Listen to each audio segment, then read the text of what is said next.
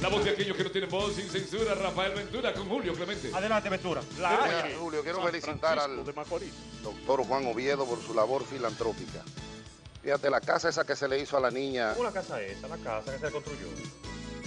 sí, pero por Dios, no tenemos tiempo para relajo.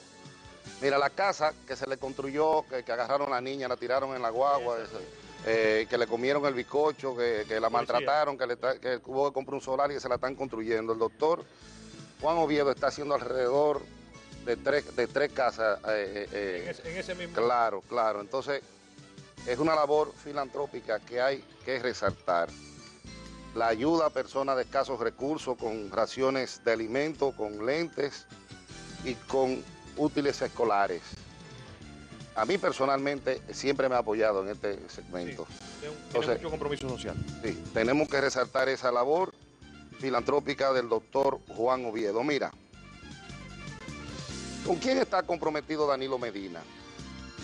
¿Con el país? ¿Con el que lo escogió? ¿O con el comité político de su partido que le ata las manos? Por los dos. Que le ata las manos. Oye, porque la gente no votó por el comité político, fue por Danilo. Pues Ahí no estaba eh, Bauta Roja Gómez en la elección y la gente no votó por él. Eso se va a arreglar. La gente no, pero óyeme, que lo votaron por ellos.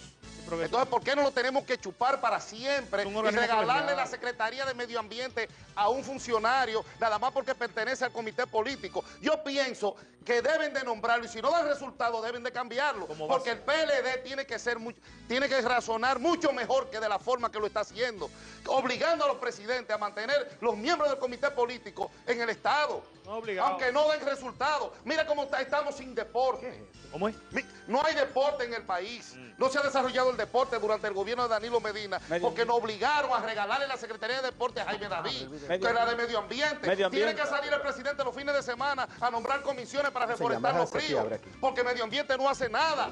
Mira cómo está la superintendencia de bancos, porque si los de, de- de- de seguro, De seguro. de seguro, porque si sacan a Euclides de ahí, le quita el apoyo a Danilo en el comité político y Danilo necesita el apoyo de esa gente, entonces esos votos nos salen demasiado caros a todos. De Es un 34 hay organismo 30. No, pero usted lo dice por lambonismo, hermano. No, no, que no. hay- hay- hay que Es realidad.